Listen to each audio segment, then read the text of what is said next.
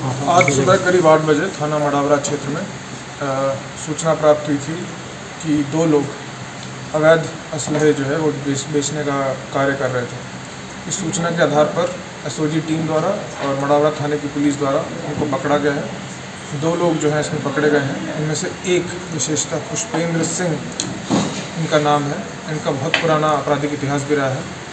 करीब 11 मुकदमे अब तक जो सामने आई है उसमें इनके ऊपर 11 मुकदमे हैं। सन 2011 से जो है ये इस काम में संलिप्त है। इनको पकड़ा गया।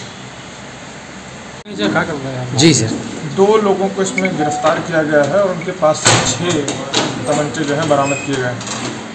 और ये करीब आठ हज़ार रुपये के अप्रॉक्सीमेटली उस कीमत पर जो है इसको बेचने का काम करते हैं। सर कहाँ से आ रहे हैं?